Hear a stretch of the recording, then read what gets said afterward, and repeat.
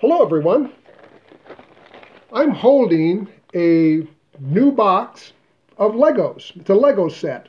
And one of the interesting things about these Lego sets is they've got a great picture on the very front cover, you know, of what you can put together.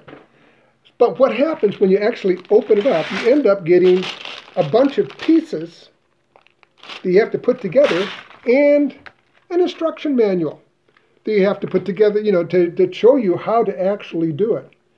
Uh, so the Lego box, the Lego uh, design doesn't come ready-made. You have to put it together piece by piece. And this is really a great illustration for life, for the life that you have.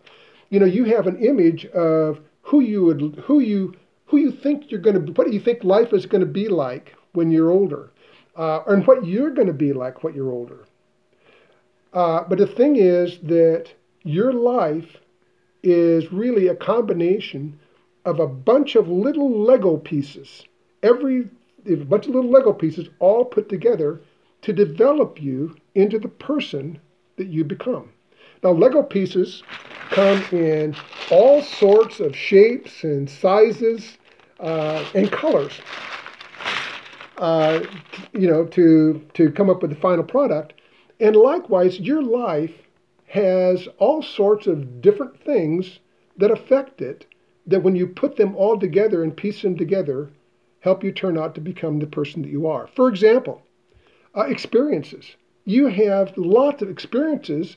Is how we learn things and and uh, how we react to different things. You can have good experiences and you can have bad experiences. Um, uh, and for both of them, good or bad, you learn from those particular experiences and you uh, it helps you to form convictions on how you're going to be living your life. Uh, so uh, God can even use a bad experience to be a very positive thing in the person that you become. How about choices? You have lots of choices. You can choose to be kind or not. You can be, uh, uh, uh, you can uh, you can do a really good job of whatever it is you're working on, you know, or not. Uh, you can uh, choose to obey, or not. You can you can choose to do a really nice thing for someone, even if you know nobody's looking, or not. All of these choices, every little choice, is like a little building block, and you have these all the time. Every little building block helping to put you together into the person that you, you will become. And it's important to, for you to, to, to realize that the character that you will become is a function of the combination of all of these choices and, and so forth that you make. What about uh, friends? You know, friends can really build you up or they can tear you down.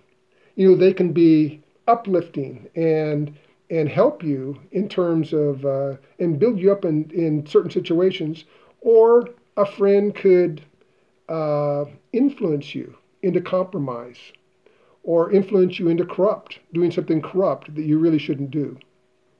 Uh, what about dedication to God? Following God, trusting Him, loving Him, obeying Him. Uh, all of this and more certainly define us as the person that we have become. If we go to church and follow God uh, only because our family does, well, that means you're going to have a little tiny little Lego spiritual piece to add to your to your life. But if you if you go to church because that's where your heart is, now all of a sudden you've got great big pieces that you're using to build your life. Uh, and this dedication to God isn't just uh, a decision or a feeling, it's action. Uh, it means it's about reading your Bible so that uh, you can learn to know God and how to live. It's uh, putting what we read into practice. Uh, of all the things that, of all the things that build us into the people that we become, dedication to God is the most important. Uh, now, there's more things, but you get the idea. So, you know, you the person you become is really not just a function of genetics, and that's good news, because really, you have terrific control over what you are to become. So, uh, we say that Lego sets don't come ready made, they come in bags and instruction manuals. Well, if we use this example, uh, uh, Lego example to life, uh, and a picture of the person we want to become, what do you think in life our instruction manual is? Now, does a person, as a Christian, do they have an instructional manual that they use? God has a plan for you. He has created you in a certain way. He is designed for your life if you if you allow him in your life.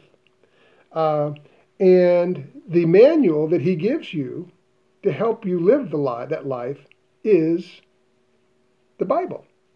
And and so if I had a little pile of Legos here and I gave them to you and gave you an hour to put put something together, you could probably do something pretty doggone interesting. But what if I had a huge pile of Lego pieces and gave you all day? I'll bet that you could come up with something pretty doggone phenomenal. Remember that every experience and every choice uh, is adding to your pile. Your family, the friends you choose, uh, all of these make a difference.